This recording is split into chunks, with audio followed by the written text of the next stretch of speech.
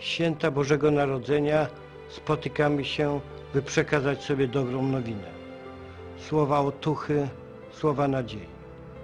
W tym roku Polacy zdawali bardzo trudny egzamin i w ogromnej większości zdali go dobrze. Chciałem Państwu wyrazić moją wielką wdzięczność za szacunek, jaki okazaliście mojemu świętej pamięci ukochanemu bratu, prezydentowi Rzeczypospolitej. Za cześć, jaką oddaliście jemu, mojej ukochanej bratowej Marylce, moim przyjaciołom, wszystkim poległym.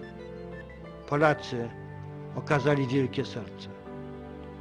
Mają prawo wymagać od tych, od których dzisiaj zależy najwięcej, by nie zachowywali się jak Poncjusz Piłat. Niech przy wigilijnych stołach zwycięży prawda.